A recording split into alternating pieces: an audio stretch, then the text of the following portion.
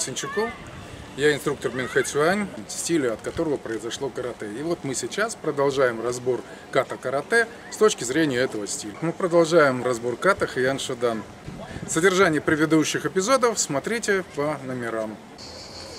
Значит, все дело должно решаться с помощью вот этой руки.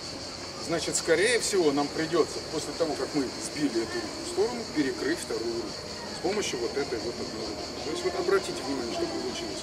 Я отбил эту руку, я накрыл вторую руку и поджимаю ему коленом сзади. Вот сейчас я его четко контролирую. Сейчас я могу нанести свой удар. При этом я точно знаю, что он не сможет защититься, ему нечем. У него голова в сторону уйти не может. Я его достаточно, достаточно хорошо фиксирую здесь. И сейчас я буду наносить свой удар кулаком с вот этой руки, практически будучи уверенным в том, что он попадет. Как мы наносим этот удар? На данный момент я еще новичок, я еще ничего не знаю, не умею. Удар у меня еще не выставлен. И, как мы говорили, это самая первая форма. Поэтому я сейчас буду наносить удар, более рассчитанный на то, чтобы свалить его с ног, а не на то, чтобы его раздробить лицо или что-нибудь сломать. То есть в данный момент это будет мощное таранное движение, просто сносящее его с ног. Раз, два, раз, раз, два.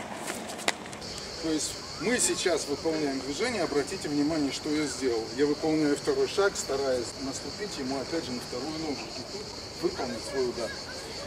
Вот этот раздел сегодня практически нигде не изучается, но он очень важен. Правильное умение наступить на ногу, правильное умение стоять. Если же я, например, на ногу не наступил, в данном случае, то все равно у нас получается достаточно уверенное и сильное движение, которое человека отбросит. Но, естественно, в данном случае падение не произойдет, и того эффекта, который мы могли бы получить при наступе на ногу, мы не получим.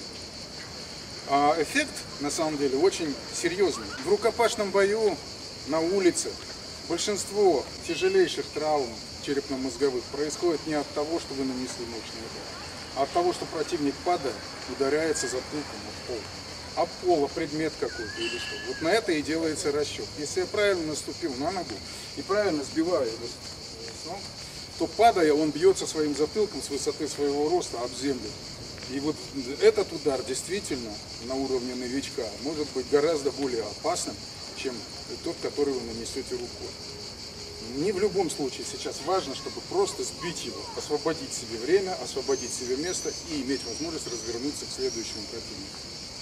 Итак, давайте посмотрим, какие у нас варианты есть. Первый. Мы выбиваем противника сюда и выталкиваем его таким образом. Да? Второе. Мы выбиваем руку сюда и перекрываем вторую руку. Третье. Мы выбиваем руку сюда, ударяем к низу, и рука проходит нам в лицо. То есть у нас вот такие вот три варианта, три основных варианта, которые нам придется здесь обрабатывать. То есть так или иначе, как мы видим, все выполняется одними и теми же движениями.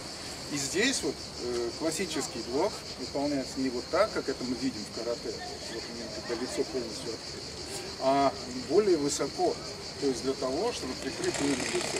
И у нас это все было сработано именно так, чтобы нам голову нельзя было попасть. Как говорят боксеры, убей голову, тело упадет само. Поэтому не прикрывать голову – это фатальная ошибка. Если мы этого не будем делать, то, соответственно, мы будем проигрывать даже в том случае, если все остальное у нас наработано хорошо.